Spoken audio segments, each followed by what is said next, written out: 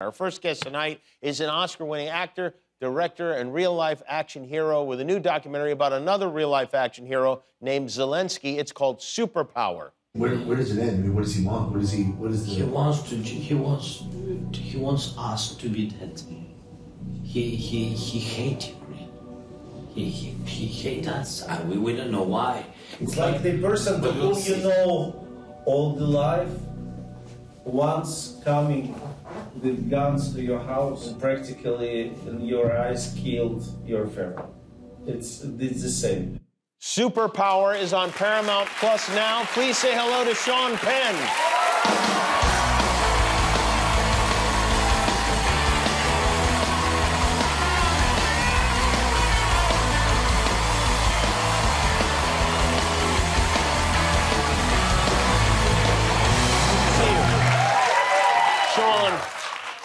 First of all, the documentary is great. It's really incredible. You invited me to a screening, and uh, it was just gripping. Um, where were you in that clip that we just saw? In you're in the bunker, right? Yeah, that was the. We had met with the president the day before. It was the first time that I'd met him face to face. We'd met on Zoom before, but and we met as we had decided without cameras the very first time because I, if he was going to participate in the documentary, I wanted him to be, um, you know, unguarded in a way that might not be with the typical news team or something like that. And um, so we had a very good meeting, and the next, and he committed to start uh, shooting the documentary the next day. We went back to the hotel, and by the time my eyes closed, the rockets started coming into Kiev. And then, you know, the, that and the sirens sort of escorted us into the morning. And then we got a surprising call from the president's office that, this, that he was going to continue and, and, and go ahead and have the first session of shooting. It is an incredible series of events that play out because you did not go over there knowing that that Russia was about to attack Ukraine. You went to, and correct me if I have any of this wrong, to make a documentary about Zelensky. Well, even and, and it was before any news of a Russian buildup. You Right. know, we, we know that, that Ukraine had been at war, uh, defensively at, at war in the, in the east since 2014.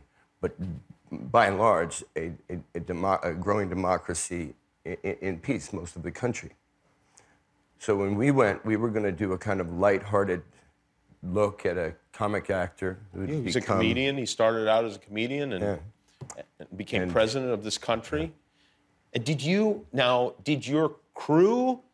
So you bring a crew that thinks they're shooting a light-hearted documentary, and suddenly they are a, a news crew in wartime, and you guys get.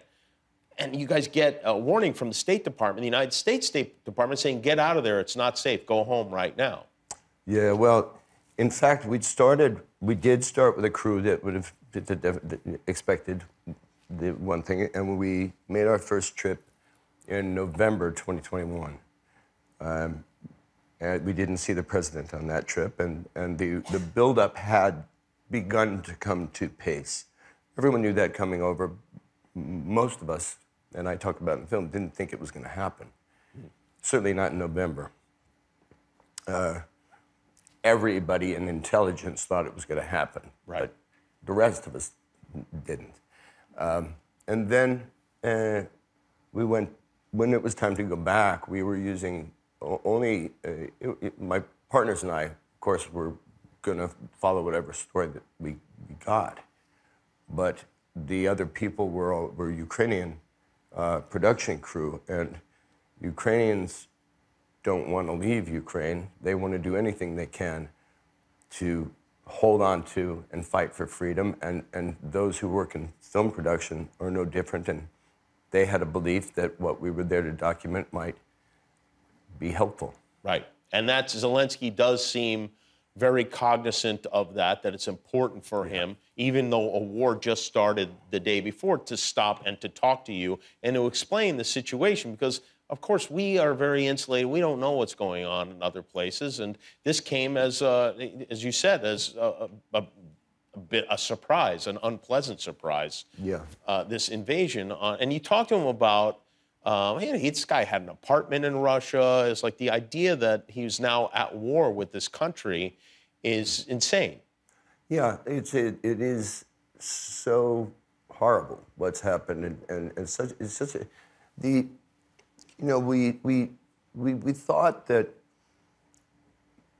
this when he came in that day, let's say, um, in that piece that you showed, it it was as though he was born for this moment. There's something so incredibly genuine about him.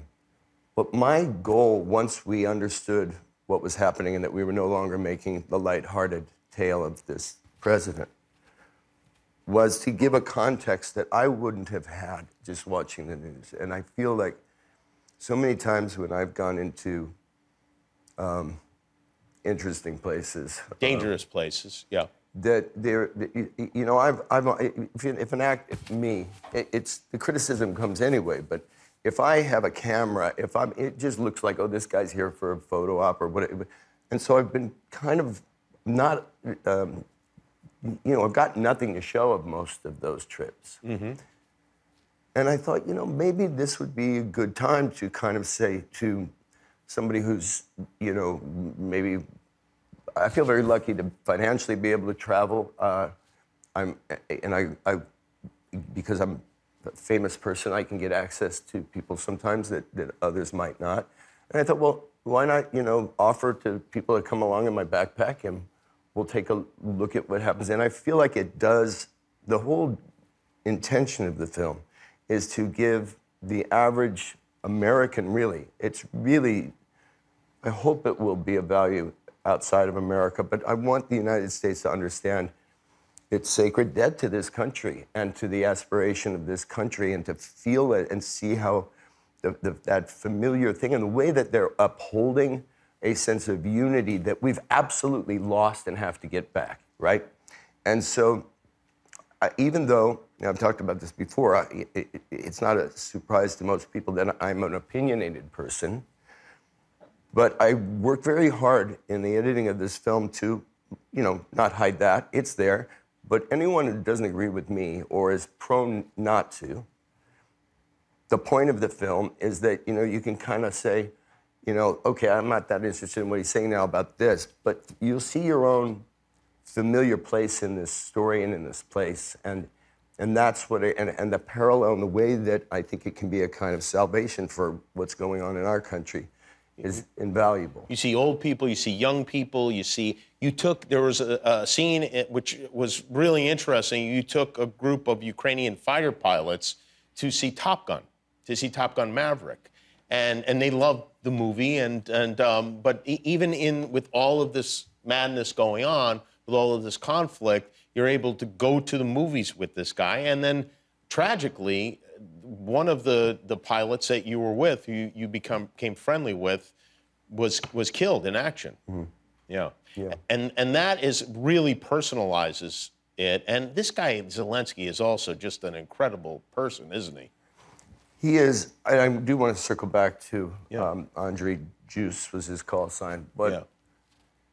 I've, I've- I've been asked by people in my circle and sometimes out of my circle, I suppose. I do step outside the house sometimes. Um, uh, you know, what's he like? And, and of any head of state, of any politician, of any head of a large company, given a little time, you start to feel the script and the spin. And that's not necessarily a bad thing. You know, they're getting through the day and they have an agenda. They don't know if you're understanding what they, when they said it the first time. Want to hammer in so that, so that you're for it. Uh, there's never a moment with him that's not genuine, deeply genuine. He's is something that's happening. I, I think that, and he's a the Ukrainians at this point in time in history. It's sort of like it's sort of like what I imagine the Beatles were coming out of, out of Liverpool. You know, that special thing happens once at a certain time. And right now, Ukraine is that place. Has he seen the documentary? Yeah, he saw, he saw a rough cut of it. What did he think? Well, yeah, I'm sort of very grateful that he's a filmmaker because he, he if, if anyone sees the film, which you can see on Paramount Plus uh, now, um, it, it's called Superpower. Um, uh, he, um, he doesn't come off great in the first half hour of the movie. Yeah, he's unpopular. Mm-hmm. There's a lot of he's doing a lot of silly uh, comedy stuff. Mm-hmm. Yeah. That changes, of course. Yes, it goes on. does. So he's stuck with it. Is what he- you're saying. Well, when I walked into the office, he had he had watched it at 6:30 that morning. He's busy during the day, I suppose, and got it over with in the morning. And I was brought back to his office, and as he, he was sitting with um, his chief of staff, Andre Yermak, who's also in the film, and he, he stood up and he looked at me and he said, I'll bet you're glad that I watched the whole thing. and, and yeah, You were, I'm sure. he recovers well in the film. Yeah, he does. He does recover well. Sean Penn is with us. His movie is called Superpower. We'll be right back. We're back with Sean Penn. Nicole Byer is on the way. You know, I uh, when when we screened the movie, your daughter was there, and she was so proud of you. I thought it was very touching. And I wonder when you were in a situation. You've been in many situations. Like I know you went to Haiti. How many times were you in Haiti after the earthquake? Well, I lived there for nine straight months, the first stretch, but I've been, I've been going back and forth to Haiti for the last for 13 years. You were in um, New Orleans uh, just after during the Hurricane Katrina situation. Do you, with your kids, do you have like a schedule? Like I'm going to check in every day at 2 p.m. and if you know, other and worry if I don't. How do you do that? No, my kids, they now they know, so I, now I can say it freely. But I, basically, what I would do with them is um, tell tell them I'll, I'm gonna be just fine, and then I would call my assistant and say everything is just fine, and uh, you know just lie and say everything's good.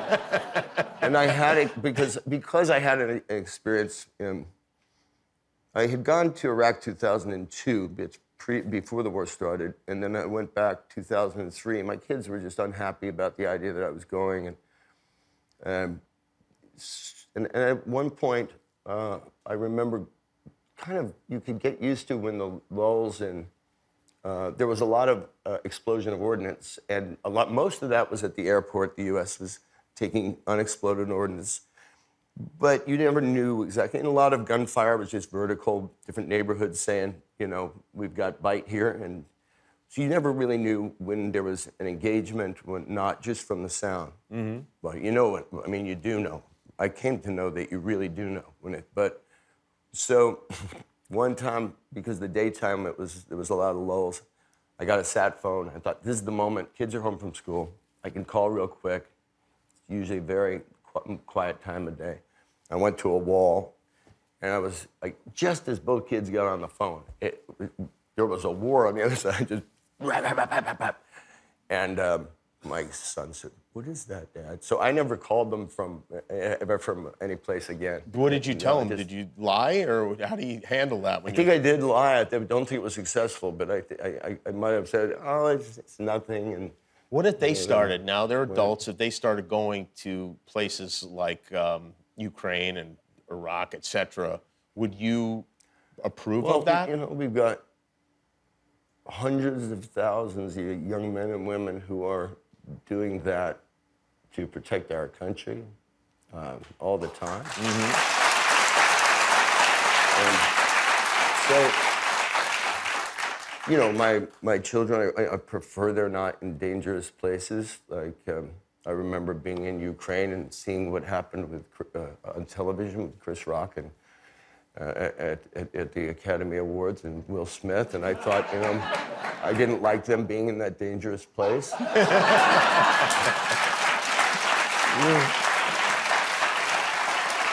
You think this kid had any idea one day he'd be in, uh, he'd be shooting a documentary in the middle of a war? That's you, right? Yeah. Yeah, I mean, yeah, did you ever have yeah. any idea that you'd be doing anything like this? I know you wanted to be an actor, but I, you know what? I just because we started it, and I don't want to forget simply out of the day because the film is dedicated to that uh, fighter pilot that, that you saw. Juice, yes. Yeah. And we, when we went, just because you know, it's also nice to celebrate the the, the uh, humor of somebody when they sacrifice like he has. So when Tom, when Tom Cruise ejects over the desert during the training, ends up in the desert, he's filthy, and he makes his way across there and finds this oasis, this diner. And he opens the door, he, he come in the diner, and the place looks at him. Juice leaned over to me during the movie. He said, That's why I always take my wallet. Do you ever call Tom Cruise and go like, "Hey, I saw you jump off that building. I'm in a war." I think he's he takes a lot more risks than I do, frankly. You do the statistics, the time I spend in different places. I'm pretty clever about the risk benefit, I think. And Yeah. but no, he he goes all out. Well, I'm guy. glad you went over there and documented this story because it is interesting. And of course, you know, with all the terrible things happening with what's going on in Israel, um, which is certainly deserving of all of our attention, we cannot forget what is also going on in Ukraine. Yeah. Yeah. And, and you know, these things, the reason that they both matter as much at the same time is it, it, it all goes to the heart of what world are we preserving for our kids tomorrow?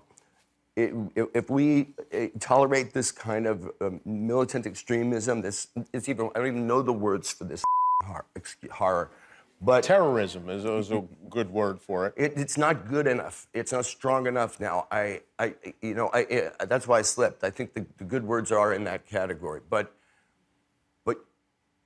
it's also about our kids' future economically. The investment that we are, as General Milley said the other day on 60 Minutes, the investment that we're going to have to make in our military, in wars that continue. Certainly, Putin will not stop with Ukraine, and anyone that believes that that will happen is, is may as well not love their children. Yeah, yeah. Well, it's great to see you. Great to the see uh, you, too. documentary is called Superpower. It's on Paramount Plus. Sean Penn, everybody. We'll be back with Nicole Byer.